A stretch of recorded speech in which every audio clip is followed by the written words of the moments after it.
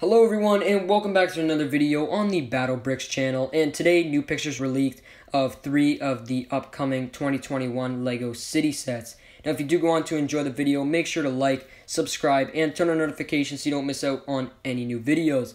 But anyways we have pictures of set number 60282 the Mobile Fire Brigade Control Center, set number 60283 the Vacation Motorhome, and finally, set number 60284, the construction site truck. Now, I understand that these pictures aren't the clearest, but nonetheless, this looks like a very promising city wave. The last couple waves have been disappointing, especially the recent police sets, which were a very poor addition to the city line, in my opinion. Not to mention the summer police sets being even worse with their impractical and lackluster builds. But this wave may actually change things for the better.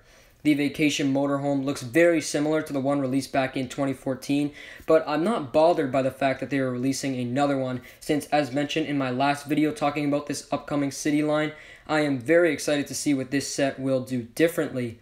The construction site truck is really nothing new as we've seen some similar sets before, but I suppose that's okay since it is the smallest set of the wave. I might still pick this up and multiple copies at that, since I don't really have any construction sets in my collection.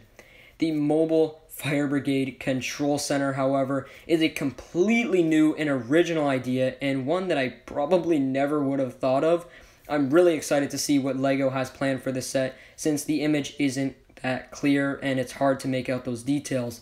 But what do you guys think? Leave your thoughts and opinions in the comment section below. Are you guys excited for this city wave? Because I know I am. Be sure to like, subscribe, and turn on notifications so you don't miss out on any new videos. I'll catch you guys in the next one. Have a great day. Bye.